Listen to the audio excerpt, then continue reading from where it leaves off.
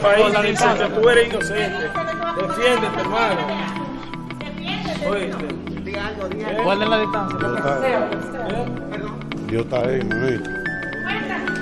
Hay un Dios en el cielo. Así profetiza Yomer el Meloso tras, ustedes saben, ser llevado a el juzgado a que el juez de la pena o la jueza de la pena le dé su medida de coerción que lo llevaría muy, muy, muy seguro a la.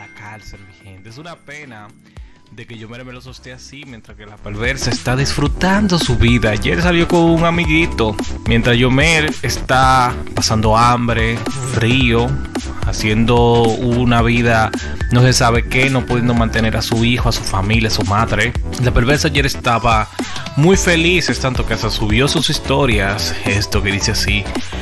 Río de último porque reiré mejor. La perversa, feliz, alegre de que Yomel esté en la cárcel. Esto de que, ya eliminó la, la, la, la querella. No se crean esa vaina. Que realmente, aunque lo haya hecho, ya sabe muy bien las secuelas que esto puede ocasionar porque es una denuncia, una demanda, bueno, una querella por violinchelo de género, esa vaina realmente en República Dominicana es letal para cualquier hombre, cualquier mujer, sobre todo para los hombres.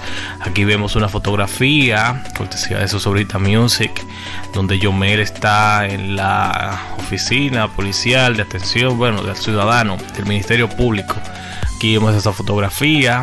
Aquí vemos el video donde Yomel está siendo llevado ante el juez de la pena para que sea leída la medida de coerción. ¿En qué va a quedar esto? Esperemos de que Yomel Meloso no coja cárcel, aunque como dije anteriormente, es muy difícil de que no coja cárcel, mi gente. La perversa ayer disfrutando, mírenla ahí, gozando, gozando de la vida con una persona que según me informan es el hermano de la Real Pomposa. No tengo esa eso de que no, que sí, que es él.